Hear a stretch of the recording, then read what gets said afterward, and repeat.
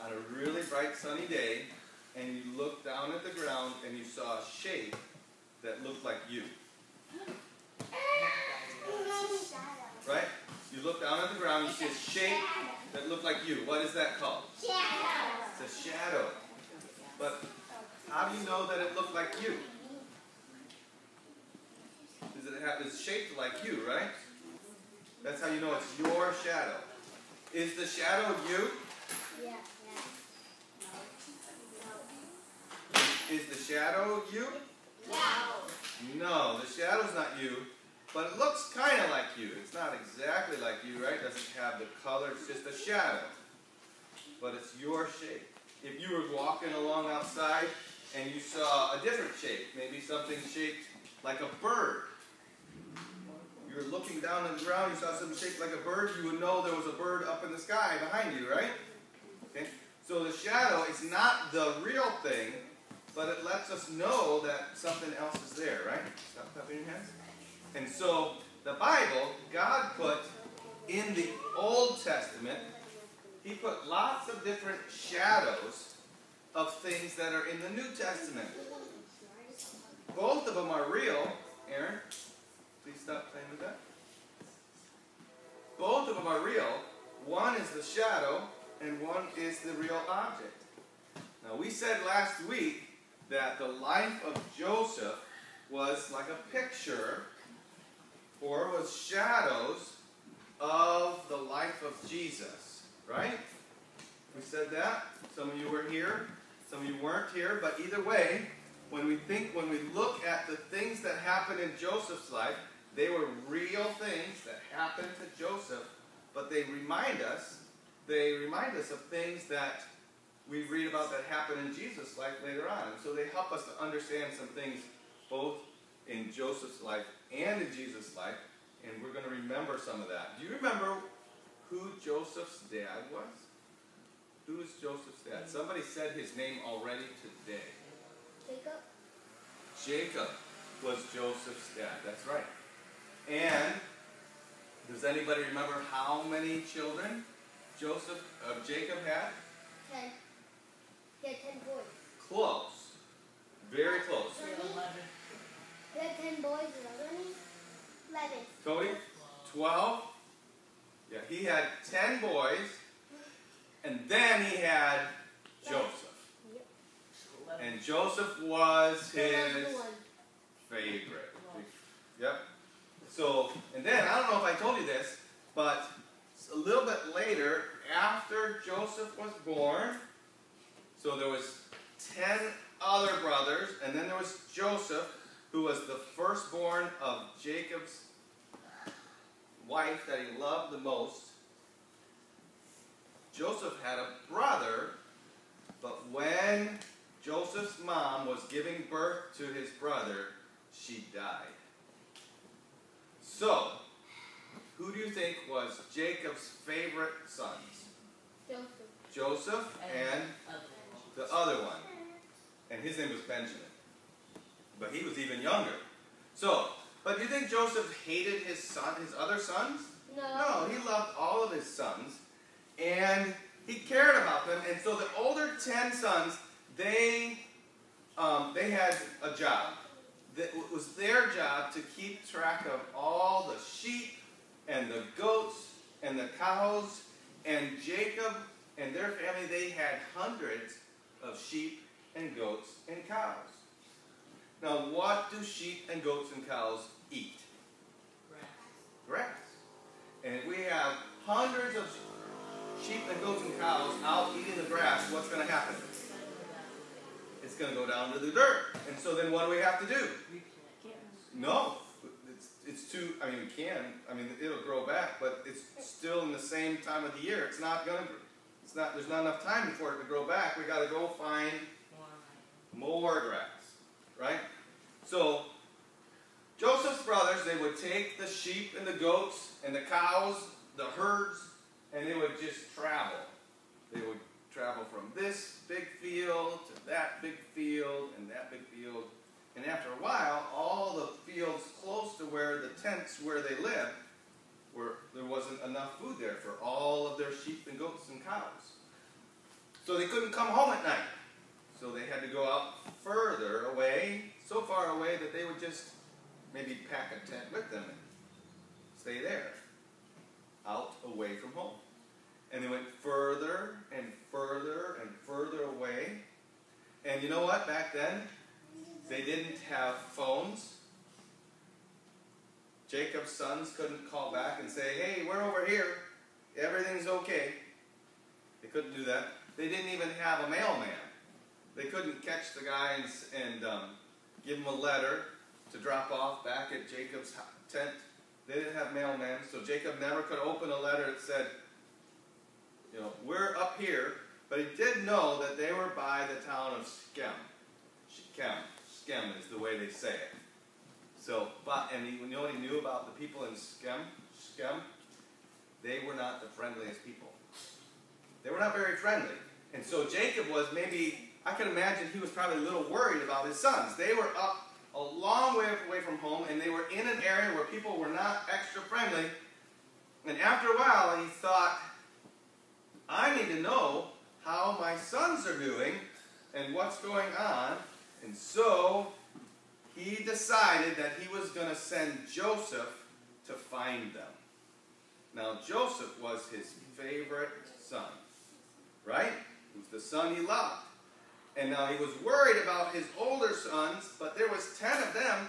But what was he going to do? He was going to send Joseph all by himself to find out how, what was going on with his other sons. And I can imagine he said to Joseph, Now, I want you to go see how your brothers are doing. There, I know they're up near near Shem, Shem, and they people in that town are not extra friendly toward us. They might have done something mean or bad to our flocks and your brothers, and so I'm going to send. I want to send you to find them and make sure that everything's okay with them.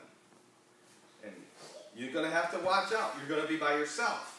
And the road between here and there could be robbers and thieves and bad people along the way. And it's so far, and you, you're going to have to sleep by yourself at night. And have to make sure you get a safe place so no um, dangerous animals will come and get you. So it was probably a dangerous trip. But Jacob loved his sons and wanted to know what was going on with them enough to send his favorite son to find them.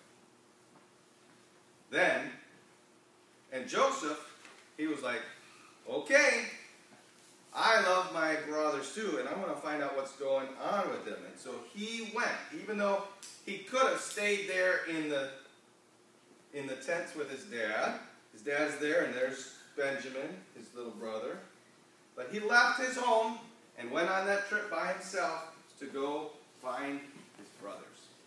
Now, was going along. He got all the way up to the town of Shem, which was 50 miles away. And did, did Joseph have a car to drive or a bike to ride? No, he had to walk 50 miles. It was se several days to get there. And finally he got there and he did not see his brothers. He'd go up to the top of this hill and look out. You would be able to see hundreds of sheep and goats and cows, um, but he couldn't find them. He didn't see them anywhere. Go up to the top of this hill and look over. Then he went up to the top of this hill and looked over. He didn't see him. Finally, some man, I don't know how, but some man saw him going from place to place, looked like he was lost, and said, What are you looking for, sonny? I don't know what he said. What he said. But he asked him what he was looking for, and Joseph said, I'm looking for my brothers. Levi and Reuben and Judah and Simeon. There's ten of them, and they have lots and lots of sheep and goats and cows, and they're supposed to be somewhere in this area. And the man said, Oh, I know who you're talking about. I saw them, and I heard them talking, and they decided they were going to go to the next town that's 10 more miles down the road. Well, Joseph, he could have said, Well, I know the people in Shechem didn't hurt them. They're just fine. They're 10 miles down the road. I can just go back and tell Dad that they're, everything's fine. They're over in this other town. You think he did that though? No. No. He wanted to find his brothers. He knew his dad would want to know more than just that they weren't hurt. He would want to know how they were doing and what was going on. Now, do you do you see? Can you think of any? Mm, this is a hard thing to, to do, but let's see here. So here we have Jacob and Joseph, and they are shadows of God the Father and Jesus the Son, right? Yeah. You kind of see that? Jacob, he loves his other sons. So he sends his most favorite son, Joseph. Now, God, he loved all of the people that he created, right? And he didn't just send his favorite son, he sent his only begotten son to find and, and save all the people that were lost, didn't he? Now, what about all those people? The brothers, the brothers, Jacob's sons, they were a long way away from home. And why were they a long way away from home? Because they had to find grass, because they were with the sheep and the goats and the cows. But all the people on the earth, everybody on the earth is a long way away from God, aren't they? And why are they a long way away from God? Not just because God is in heaven and we're on the earth. Something even worse than that. Allie? Because they sin. Right. Everybody who's lived on the earth has sinned, and that separates all of us, everybody on the earth, from God. But God sent his son, right? We remember that when we think of this. What's this picture remind us of? God. So he was a baby. Who is the baby? God. Jesus. Jesus is God's son. And Jesus, God sent Jesus to come to the earth, to live on the earth, and then what? To die On the cross. so that every, on the cross, and then he then he rose from the dead, so that all the people that that were away from God because of their sin could be brought near to God through Jesus Christ dying for and taking the place of the people that had sinned. So, if God is the Father and Jesus is the Son, that means that they are a, if you have a father and a son, they're part of a, somebody said a word that's true, but I'm thinking of a different word. What? Mm-hmm. A family. That's right. And where does a family live? Home. At home. Where's God's home? In heaven. Heaven. That's right. God is in heaven, and Jesus is in heaven. And Jesus, the Bible tells us that everyone who believes on Jesus, they also become the sons of God. And so that means they are part of God's family. Right? And if we're part of God's family, then someday we will be able to go home to, to Jesus. And where is God and Jesus? In heaven, in their home. But if you're not part of their family, you will not be able to go to their home in heaven, will you? You won't. People that are not part of God's family, people who have not believed on Jesus, yeah, they're, they're, they're from their father, the devil. And they're going to go to the devil's home. So, the question today, we have lots more to learn about Joseph. Next week, we're going to learn about what kind of relationship he had with, with his brothers. Remember, he went to find them. He saw them, and then he ran down to see them, and something's going to happen there. We're going to see what's happened there. But today, the thing to think about is are you in God's family? Is God your father? He can only be your father if you believed on Jesus. Turn from your sin and believed on Jesus.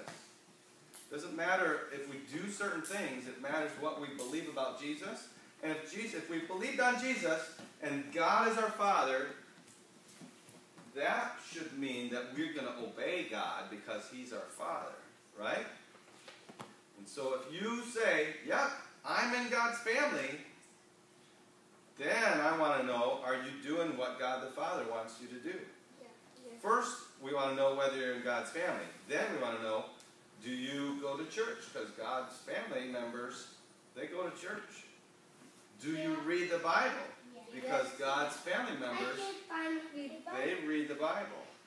Do you talk to God Yeah, in yeah. prayer? Because God's family members, they talk to God in prayer. So, we saw that Jacob and Joseph had a very special relationship. Joseph loved God, and that's one of the reasons that Jacob loved him dearly. They talked about the things that God had them uh, had for them, and if you are part of God's family, you should want to learn the Bible, read the Bible, talk to God in prayer, go to church so you can learn more about the Bible. Be kind to one another because that's what the Bible tells us to do. Obey our parents, obey our teachers. All the things that God tells us to do, we should want to do if we're in God's family. Right? So let's remember that this week. If you think you're in God's family, if you say you're in God's family, you need to make sure you're living like one of God's children.